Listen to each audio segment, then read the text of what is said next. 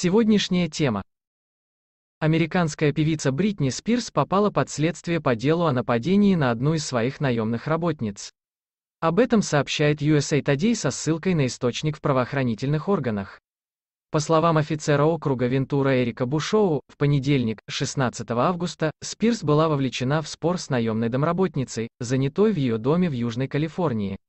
Потерпевшая заявила, что между ними произошла ссора из-за собак, женщина отвела питомца знаменитости к ветеринару и по возвращению от доктора сообщила Спирс, что с животным обращаются неправильно.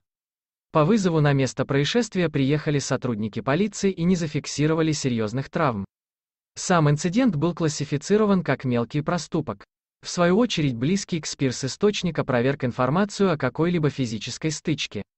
Однако в правоохранительных органах продолжат вести расследование. Затем дело планируют передать в прокуратуру, которая и примет решение по обвинению певицы. О звездах, которые плохо относятся к обслуживающему персоналу, узнай из нашей статьи. И смотри видео. Ставь лайк и подписывайся на наш канал.